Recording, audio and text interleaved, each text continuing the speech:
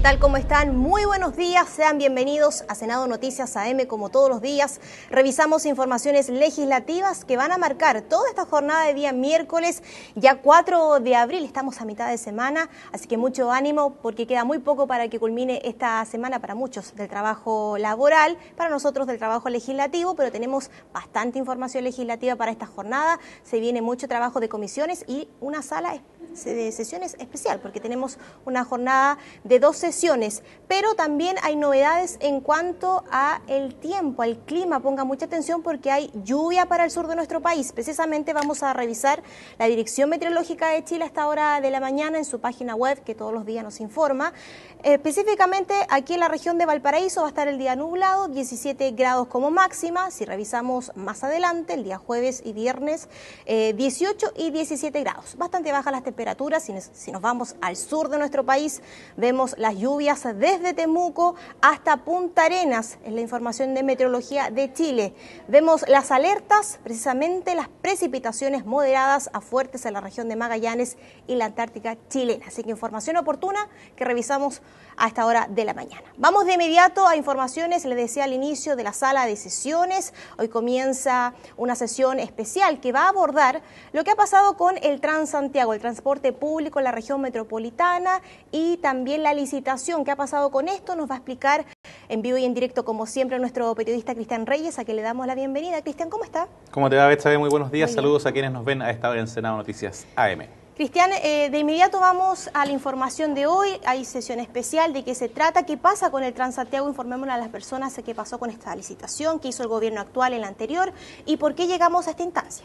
Claro, citación especial hoy, doble jornada. A partir del mediodía tenemos eh, con un tema en particular. Como tú bien decías, la, la licitación del Transantiago, un proceso declarado desierto hacia allá, hacia mediados eh, del mes de marzo por parte de la nueva ministra de Transportes y Telecomunicaciones, Gloria Hood, en su momento también en la primera administración de Sebastián Piñera, ustedes lo recordarán, fue subsecretaria de dicha cartera, así que tiene bastante conocimiento. Y se espera su presencia precisamente el día de hoy para que explique los detalles básicamente de por qué se declara desierta este proceso de licitación del Transantiago. Usted quizá que es de regiones diga, bueno, esto quizás a mí no me afecta en realidad, pero tiene un alto impacto en las arcas fiscales, digámoslo, por los montos de subvenciones, de déficit que hay que paliar permanentemente del Transantiago y también, seamos honestos, por la cantidad de millones de personas que ocupan este servicio, que básicamente podríamos decir es la mitad de Chile. Y son 10 años, Cristian, de este servicio que para muchas personas, digamos la verdad, no ha sido eficiente. Así es. Esto partió, eh, vamos a hacer un poco de recuento de la historia mientras vemos algunos apoyos relacionados, porque ahí, por ejemplo, vemos una reunión que tuvo el presidente del Senado, el senador Guido Yerdi y el senador Juan Pablo Letelier, tres senadores,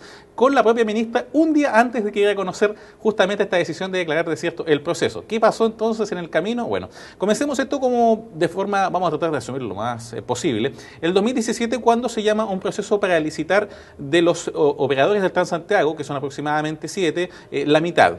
Estamos hablando de cerca de 3.400 máquinas y cuatro operadores que terminaban el contrato para renovar o para cambiarlos por otros nuevos. Empresas que llegaron también a adquirir las bases de licitación, que fueron aproximadamente siete. Eh, dentro de esas que ya terminaban contrato está Alsacia, que digámoslo eh, es un hecho de la causa, tiene los peores índices en cuanto a calidad de servicio, de la frecuencia, de la calidad, etcétera. Bueno, esto se abrió a partir del mes de octubre y hasta finales de diciembre.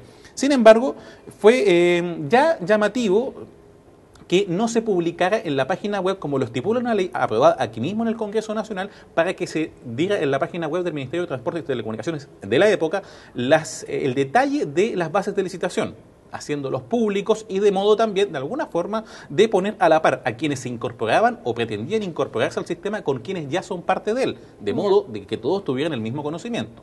Punto uno. Luego, a finales de diciembre, una de las empresas que estaba, eh, Transaver, que estaba operando, eh, aspirando a ser operador de Transantiago, reconoce que hay ciertos eh, vicios de, em, en cuanto a las reglamentaciones. ¿Por qué?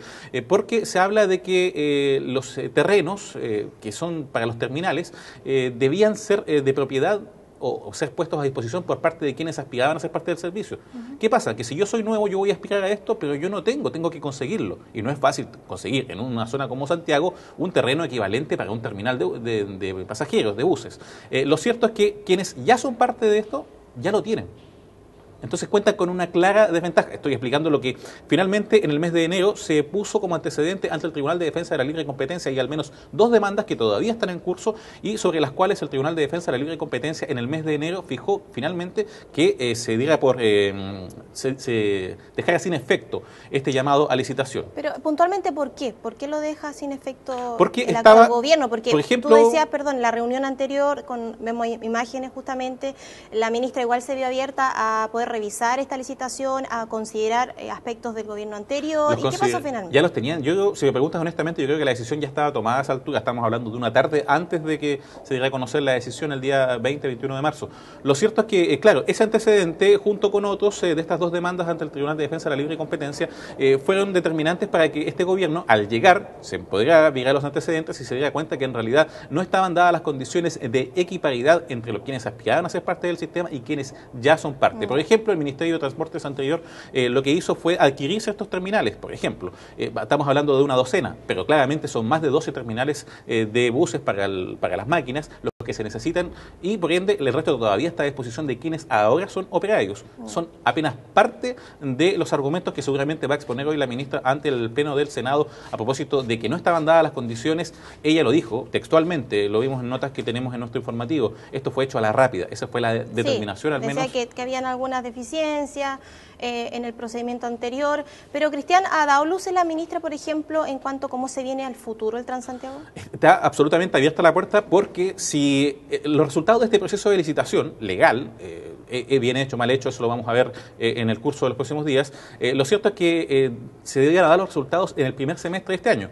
Al no, al dejarse sin efecto, queda todo esto sin, sin, digamos, la posibilidad de renovar. Entonces, o se le extiende el contrato por un año más, por un tiempo razonable, hasta que haya una nueva licitación a los que ahora son justamente operadores del Transantiago, o se abre la puerta, por ejemplo, para que tomen en este rango intermedio nuevas empresas, se hagan cargo de estos operadores, sobre todo considerando antecedentes de los que no han cumplido fielmente con la calidad de servicio que se espera puedan tener eh, en el sistema. Parte de lo que seguramente va a ser explicado el día de hoy van a estar todos los focos puestos acá en las explicaciones que pueda dar seguramente quienes fueron parte de la reunión que veíamos en imágenes, eh, el presidente del Senado, el senador Gigar, el senador Letería, van a pedir la explicación de por qué fueron a hablar con la ministra y al día siguiente se encontraron con que eh, finalmente se declara desierta esta licitación y se deja sin efecto ese proceso. Para la tarde tenemos también una cosa, podríamos decir, bastante eh, abierta en cuanto a lo que es los temas que van a ser vistos. Ayer se levantó un proyecto de acuerdo a propósito de un eh, crimen ocurrido en Brasil de una concejala que era eh, activista, Mariel Franco da Silva,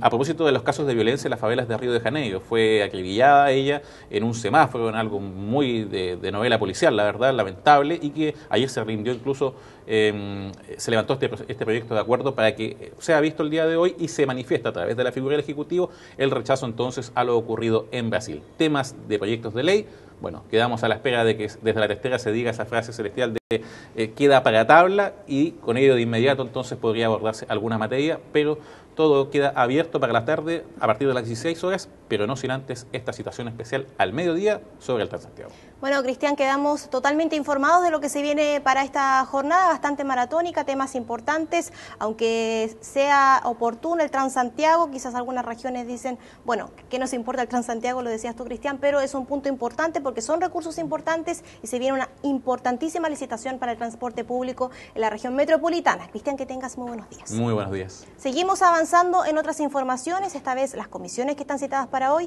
Recuerde que usted puede saber más información en senado.cl.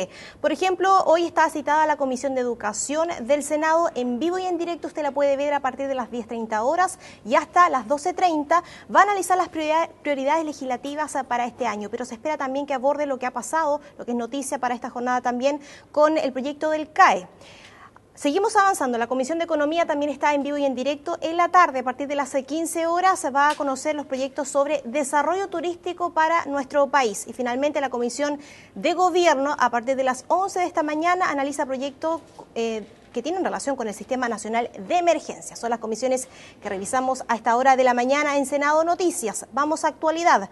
Eh, revisamos puntualmente el portal latercera.com que habla de educación mire bien ya en pantalla que tiene que ver con el CAE, porque el gobierno confirmó el retiro del proyecto de administración eh, anterior de la presidenta, expresidenta Bachelet que reemplaza al CAE. Esto lo anunció el ministro de Educación, Geraldo Varela, indicó que presentarán una nueva iniciativa. Parlamentarios cuestionaron la falta de detalles sobre esta iniciativa y la necesidad de un calendario legislativo que por supuesto, van a dar a conocer hoy la Comisión de Educación que va en vivo y en directo. Otras informaciones también que revisamos a esta hora de la mañana en conjunto con el portal emol.com. Rápidamente, un accidente de tránsito que tiene en los portales informativos en Boga, al menos un fallecido en un accidente múltiple que involucra a más de 20 vehículos, esto en San Fernando. Bomberos se encuentra trabajando en el lugar. Se habla además de que hay varios heridos, así que una información policial que revisamos a esta hora de la mañana. Redes sociales, ya lo sabe, lo está viendo en pantalla, puede saber más información del trabajo legislativo. Soy Betsabe Fuentes, que tenga una gran mañana.